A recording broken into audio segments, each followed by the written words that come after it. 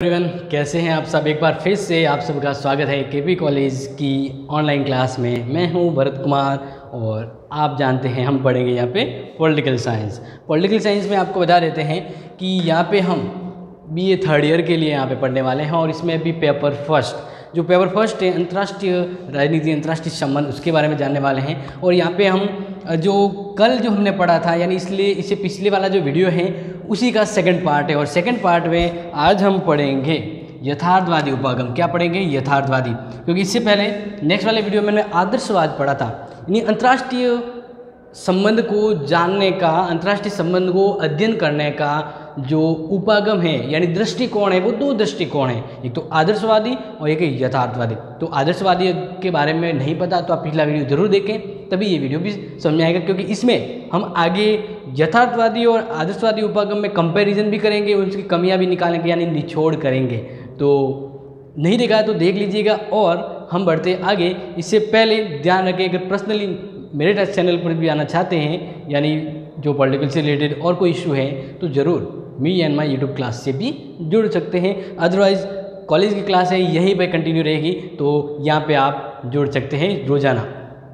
तो इसके अंतर्गत मैं आपको बता देता हूँ कि जो आदर्शवाद था, वो मानता था कि यथार्थवाद उपागम दूसरा है। तो आदर्शवाद में ये कहा गया था में कि जो उपागम या जो दृष्टिकोण शांति व्यवस्था को चाहता है, जो युद्ध नहीं चाहता है, ऐसी व्यवस्था जो एक आदर्श व्यवस्था मानी जाती थी और उसके ज़रिए वो एक अंतर्राष्ट्रीय राजनीति के तौर पे अच्छा संबंध बनाने की गुंजाइश रखता था। बट वो हमने देखा था इससे पहले, अब आज हम देखेंगे यथार्थवादी उपागम क्या उपागम तो मैंने बता दिया गया दृष्टिकोण, नज़रिया तो अंतर्राष्ट्रीय अंतर्राष्ट्रीय संबंध को, क्या?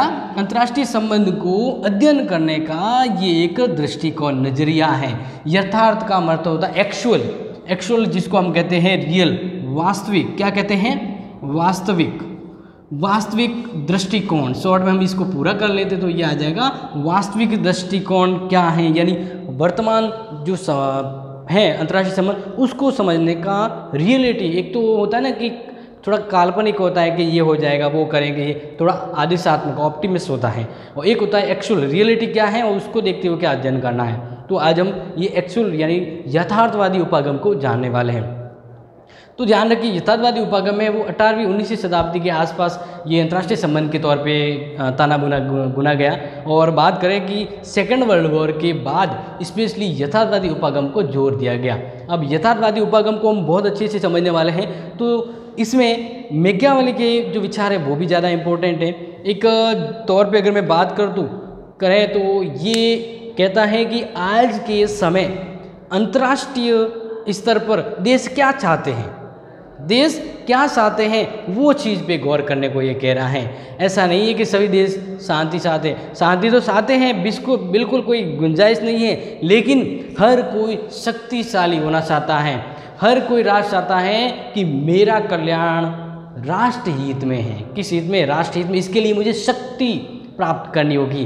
तो यही शक्ति के संघर्ष को इसके अंतर्गत महत्व दिया गया है। तो इसकी कुछ इंपॉर्टेंट चीज़ें जो मैं आपको बताना चाहूँगा। यथार्थवादी दृष्टिकोण की तह में मूल मान्यता है, राष्ट्रों के बीच विरोध और संघर्ष किसी न किसी रूप में सदैव बना रहता है, बिल्कुल। देखो, अगर शक्ति, दो देश या अंतर्राष्ट्रीय स्तर पर जो देश है, शक्ति प्राप्त करना चाहेंगे, क्या करना चाहेंगे शक्ति? तो संघर्ष तो होगा, संघर्ष तो होगा, लेकिन हर कोई शक्ति संघर्ष के लिए लालायित है। तो यथार्थवादी दृष्टिकोण कहना है कि अंतर्राष्ट्रीय स्तर पर कोरे ढकोसले की तरह हम गुंजाइश नहीं करेंगे, हम रियलिटी देखें ना तो हर देश आज के समय शक्तिशाली होना चाहता है। वो जानता है, उसको पता है कि राष्ट्र हित में ही मेरा इष्ट है। तो राष्ट्र अगर शक्तिशाली होगा, राष्ट्र शक्तिशाली होगा तो राष्ट्र अपने स्तर पर संबंध बना सकता है। एक शक्तिशाली राष्ट्र के संबंध उनके अकॉर्डिंग चलते हैं। नॉर्मल सी बात है कि जो शक्तिशाली होगा, उसके संबंध भी दूसरों से बढ़िया होने की गुंजाइश रहती है। तो यही बात यहाँ पे आती है। हर राष्ट्र एक शक्ति संपन्न राष्ट्र होने की गुंजाइश रखता है। इसी को ध्यान में रखते हुए यथार्थवाद के अनुसार राष्ट्र की शक्ति का विकास है, ठीक है ना? यानी यहाँ पे सिंपल सी एक वर्ड में ध्यान रखेंगे कि यथार्थवादी दृष्टिकोण जो मानने वाले वो चाहते हैं,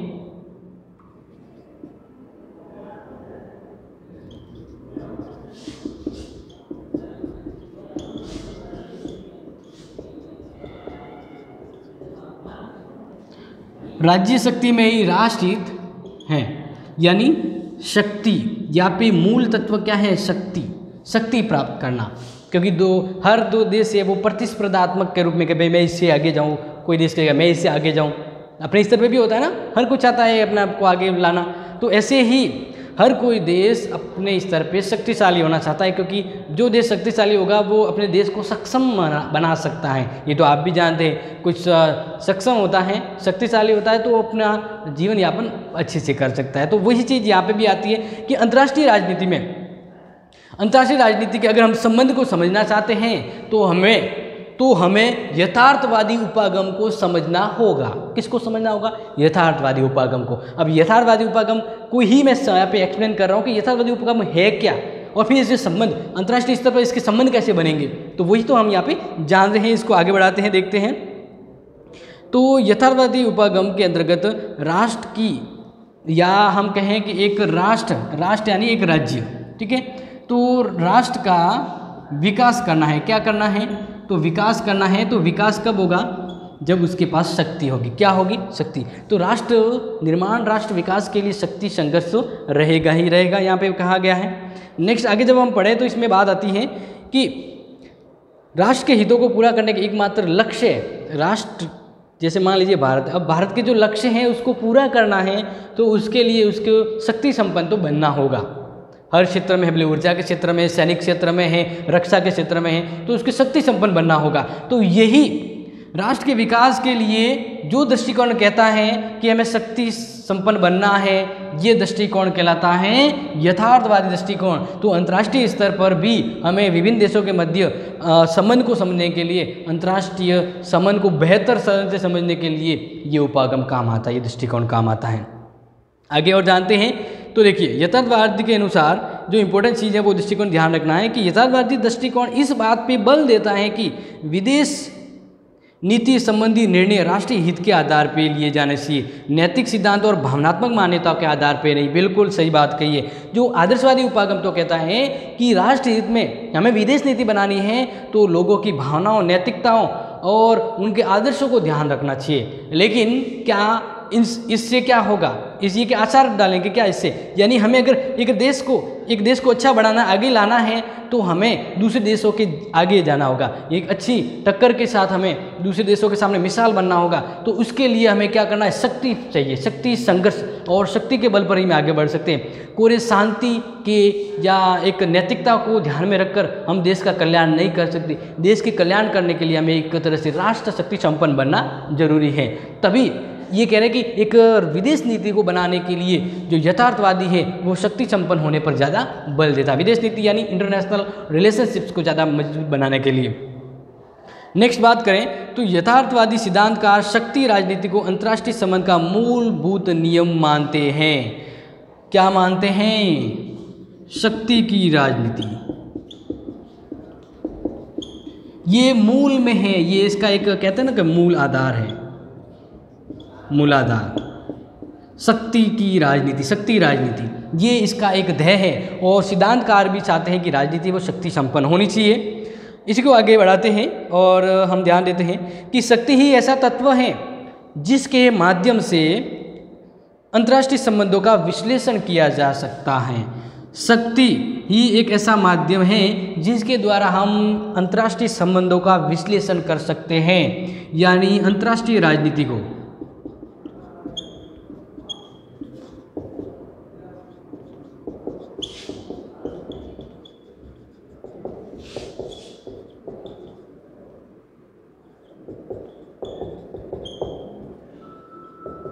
विश्लेषण का आधार। समझ में आ रहा है क्या है शक्ति? शक्ति ही एक ऐसा तत्व है जो अंतर्राष्ट्रीय संबंधों के विश्लेषण का आधार है। ये कौन सा उपागम है? यथार्थवादी उपागम है। यथार्थवादी उपागम के अंतर्गत यही कहा गया है। अब पूछा जाए कि अंतर्राष्ट्रीय संबंधों को समझने का जो ये दृष्टिकोण है, यथार्थवादी उपागम, इसका किन विद्वानों ने समर्थन किया है? किन विद्वानों ने यथार्थवादी दृष्टिकोण को अपनाया है अंतर्राष्ट्रीय संबंधों के अध्ययन के तौर पर तो नोट कर दीजिएगा, क्योंकि मैं हमेशा कहता हूँ, अगर आप पॉलिटिकल क्लास ले रहे हैं तो पेन और नोटबुक होना ज़रूरी है। बिल्कुल। तो नोट कर दीजिएगा, जो यथार्थवादी दृष्टिकोण को अपनाते हैं George Kennan Reinhold Niebuhr George Schwarzenberger doctor Henry Kissinger और हांस मार्गेंथाउ एक मैं नाम यहाँ पे नोट करूँगा, जो ज़रूरी है।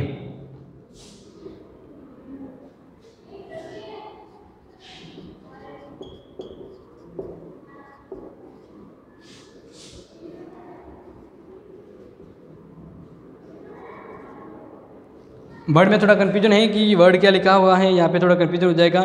मार्गेन थाउ है। क्या लिखा हुआ है? मार्गेन थाउ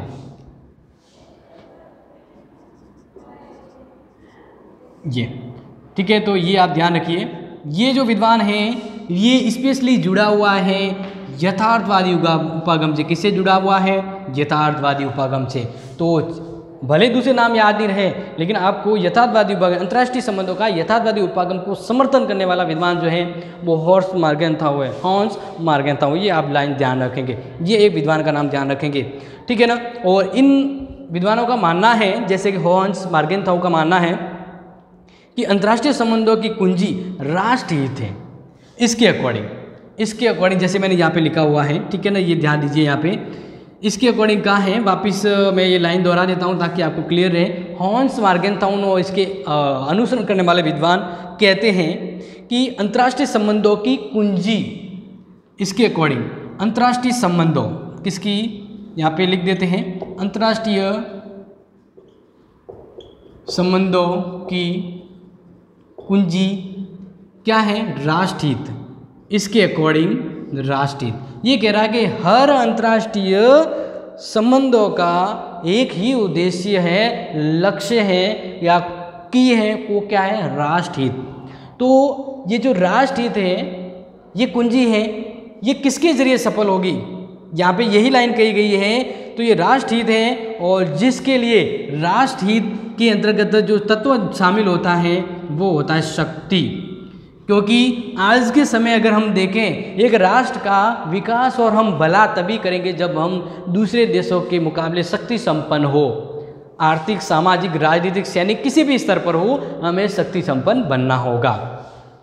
ठीक है तो इसी संदर्भ में मोहनग्रथाउन ने एक लाइन कही जो आप नोट कर लेंगे।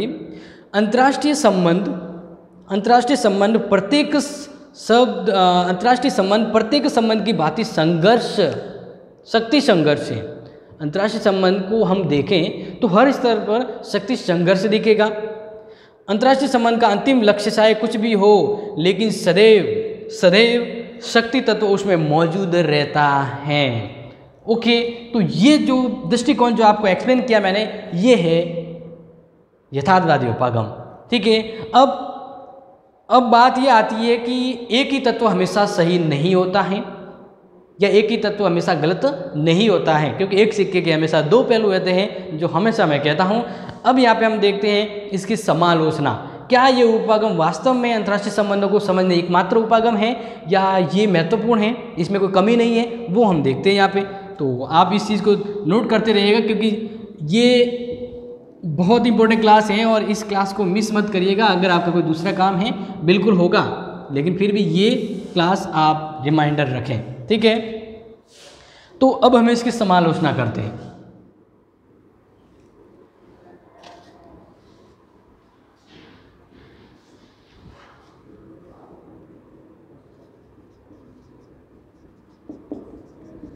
समालोचना का मतलब ऐसे बताया मैंने कि कुछ समानता है कुछ अच्छाइयों के साथ उसकी क्या कमी है उस विधि की, उस विचारधाराओं की तो वो हम यहाँ पे देखने वाले हैं। तो जैसा कि हमने यहाँ पे जाना है, उस अकॉर्डिंग यहाँ पे मैं आपको बताता हूँ यथार्थवादी या यथार्थवादी को मानने वाले जो विद्वान हैं, उनके अकॉर्डिंग अंतर्राष्ट्रीय संबंधों को आदर्शवादी, कल्पनावादी पर्यावरण से मुक्ति दिलाई है।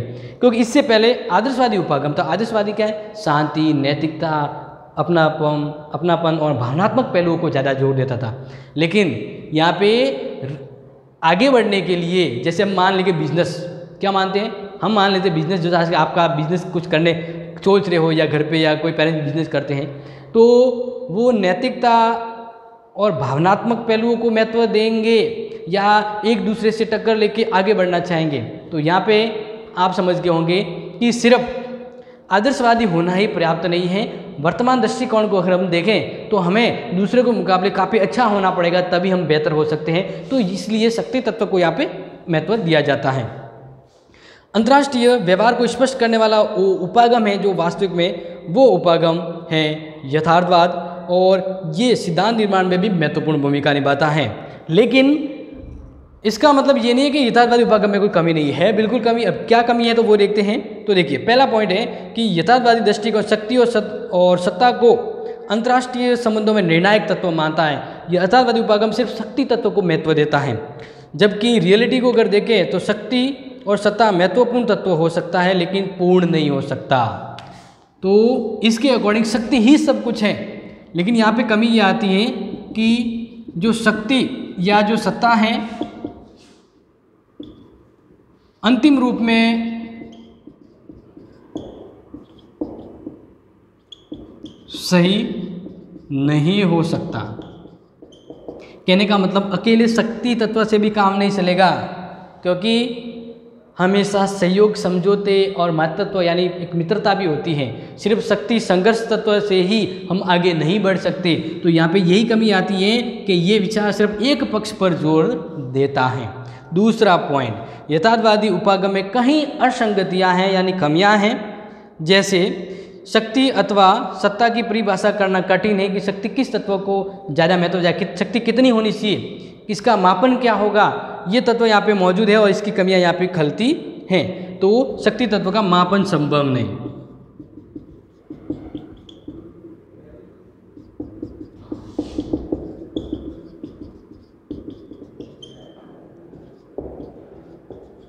शक्ति तत्व का मापन संभव नहीं। ठीक है, समझ में आ रहा है? थर्ड पॉइंट पे हम बात करें तो यथार्थवादी शक्ति संघर्ष के स्थायित्व को स्वीकार करता है और अंतर्राष्ट्रीय संबंधों में साधन उद्देश्य जैसे प्रश्नों के प्रति उदासीन है।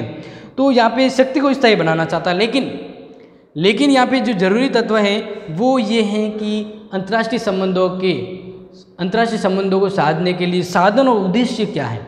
ये भी तो ज़रूरी है। तो इस मामले में यथार्थवादी उपागम साइलेंट प्रतीत होता है। यथार्थवादी उपागम का ध्येय राष्ट्र शक्ति का प्रसार मात्र था और इसकी नीति राष्ट्र विरोधी समझी जा सकती है। यानी बार बार शक्ति तत्व को करेगा तो शक्ति का संघर्ष शुरू हो जाएगा। शक्ति के लिए क्या शुरू हो जाएगा? संघर्ष। और शक्ति संघर्ष है वो ज़ीरो पे जाके ख़त्म होती है। ओके? तो ये इसकी समालोचना की। अब हम इन दोनों का कंपेरिजन करते कंपेरिजन किसका?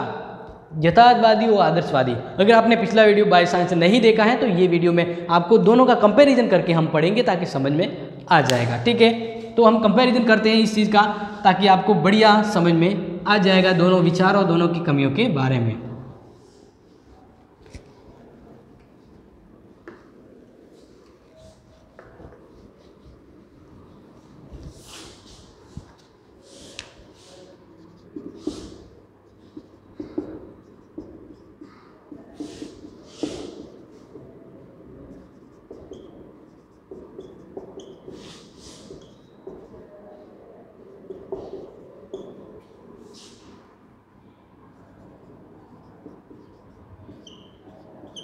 बनाम, यानी कंपैरिजन ये इसके मुकाबले क्या सही है? हमें कौन सा तरीका या कौन सा दृष्टिकोण अपनाना है? अंतर्राष्ट्रीय संबंध को बेहतर समझने के लिए हम किस दृष्टिकोण को ज़्यादा महत्व दें? आदर्शवादी उपागम को या यथार्थवादी उपागम को? यही मैं आपको यहाँ पे समझाने का प्रयास करूँगा। तो सबसे पहले आप ध्यान देना है कि यथार्थवादी उपागम है, यथार्थवादी उपागम है, ये इसका केंद्र बिंदु क्या है? ये किस तत्व पर ज़्यादा ज़ोर देता है? अभी जो मैंने आपको बताया था यहाँ पे, ठीक है ना? ये तत्व देता शक्ति पर। ये हमेशा शक्ति तत्व पर ज़ोर देता है और शक्ति की समस्याओं को लेकर ये जूझता भी है। तो यहाँ पे ध्यान रखना, शक्ति तत्व यहाँ पे इसका मेल, मूलभूत तत्व होता है। ठीक है ना? इसी तरह जो आदर्शवादी जो उपागम है, अगर आदर्शवादी उपागम की बात करें तो आदर्शवादी उपागम में क्या होता है? नैतिकता पर ज़्यादा ज़ोर दिया जाता है। नैतिकता, सहयोग। कहने का मतलब है कि अंतर्राष्ट्रीय संबंधों को समझने के लिए सिर्फ़ शक्ति तत्व ही ज़रूरी नहीं है। हमें कभी कभार नैतिकता और सहयोग की बात भी ज़रूरी है, क्योंकि ये आदिवासी उपागम है, वो शांति चाहता है। विश्व के मध्य क्या चाहता है? शांति। ठीक है? तो दोनों के बीच हम कंपैरिजन करें तो आप वो चीज़ आपको ध्यान रखना है। इस तरह से आदर्शवाद के आधार पर बनी नीतियाँ अंतर्राष्ट्रीय शांति की पक्षपोत होती है। अंतर्राष्ट्रीय आधार पर हम मान लें कि हमें अंतर्राष्ट्रीय स्तर पर अंतर्राष्ट्रीय संबंधों को बनाना है एक विदेश नीति बनानी है तो हम कौन सा तरीका अपना यथार्थवादी बनाए या आदर्शवादी? तो यथार्थवादी दृष्टिकोण है, वो शांति, सहयोग और नैतिकता पर बल देता है और यथार्थवादी उपागम में वह शक्ति संघर्ष कर ज़्यादा महत्व देता है। तो इसलिए अगर मैं फाइनली आपको बताऊँ कि कौन सा तरीका बेहतर रहता है तो दोनों का समन्वय, दोनों क्या समन्वय ज़रूरी है?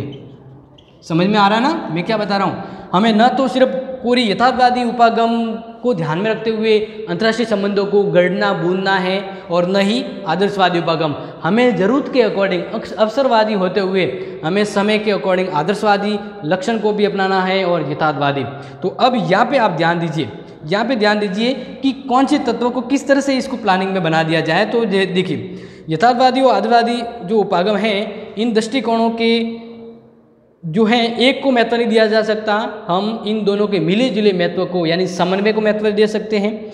इसी तरह से क्वींस राइट जैसे विद्वान जो है, क्वींस राइट ने विदेश नीति निर्माण के लिए दोनों दृष्टिकोणों को महत्व दिया है। बिल्कुल ध्यान रखें, क्वींस राइट महोदय ने कहा है कि दोनों दृष्टिकोणों का समन्वय ज़रूरी है, एक अंतर्राष्ट्रीय संबंधों को अच्छे से बनाने के लिए। इस तरह से जॉर्ज कैनन ने भी यथार्थवाद के साथ साथ आदर्शवादी उपागम के मध्य सामंजस्य बहता है। तो काफ़ी विद्वानों ने, बड़े विद्वानों ने भी कहा है, सिर्फ़ एक दृष्टिकोण पर्याप्त नहीं है, क्योंकि राष्ट्र लंबे समय के लिए प्लानिंग बनाता है।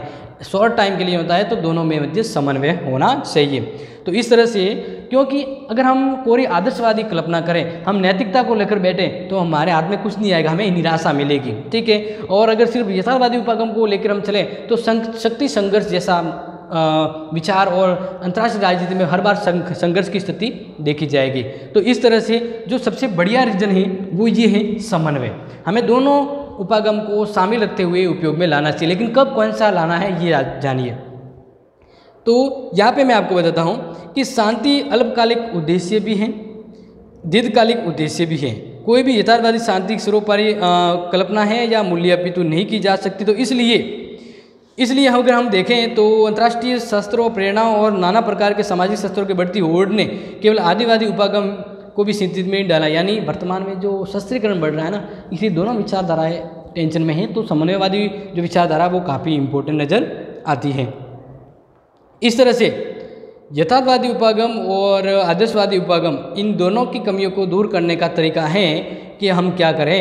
समन्वय करें दोनों में। तो राजनीतिक, यथार्थवादी की तथ्यमूलक अंतर्दृष्टि नीतिशास्त्र और राजनीतिक आदर्शवादी के आदर्शों में मेल करा सकें, क्योंकि ये दोनों ज़रूरी है और दोनों का मिला जुला रूप ही हमारे लिए आवश्यक होता है। यथार्थवादी जो उपागम है, राष्ट्रीय नीतियाँ अल्पकालिक सूचिक होती हैं, जिनकी आदर्श उन नीतियों को दीर्घकालीन मानता है। यहाँ पे ध्यान रखिए। इसके दौर पे बनी जो नीतियाँ हैं, वो अल्पकालीन होती है। क्या होती है? अल्पकालीन भी मानी जाती है। अल्पकालीन, ठीक है ना? और इसके दौरान, यानी ये अगर इसको हम ध्यान में रखते हुए उद्देश्य बनाते हैं तो हम भविष्य को अच्छा बनाने के लिए भी बनाते हैं। क्योंकि अगर हम शांति से आएँगे तो हमारा जो काम है, वो लंबे समय तक सफल होता जाएगा। और यथार्थवादी उपागम तो ये शॉर्ट टाइम के लिए, कि हमें कहाँ पे शक्ति प्रदर्शन करना है और कहाँ पे मित्रता सहयोग करना है। तो इस तरह से भविष्य को ध्यान में रखते हुए आदर्शवादी उपागम अपनाया जाया जाए और शॉर्ट टर्म में वर्तमान समस्याओं को देखते हुए आदर्शवादी उपागम यानी दोनों का मिला जुला ताना बाना हमें अंतर्राष्ट्रीय संबंधों को समझने में, अध्ययन करने में और बनाने में ज़रूरी है। ओके तो मेरे हिसाब से आपको ये समझ में आ गया होगा। बहुत ही बढ़िया एक्सप्लेन था तो समझ जाइएगा। नहीं समझ आया तो कमेंट कर सकते हैं कि क्या चीज़ आपको ऊबर से चली गई है। अदरवाइज़ इस वीडियो से संबंधित जो भी चीज़ डाउट है, वो भी आप शेयर कर सकते हैं कमेंट कर सकते हैं, ठीक है ना? और मुझसे पर्सनली जुड़ने के लिए आप मेरे चैनल पर भी विज़िट कर सकते हैं, जिसका नाम me and my YouTube class ठीक है, अब मिलते हैं नेक्स्ट वीडियो में। तब तक के लिए thank you and have nice day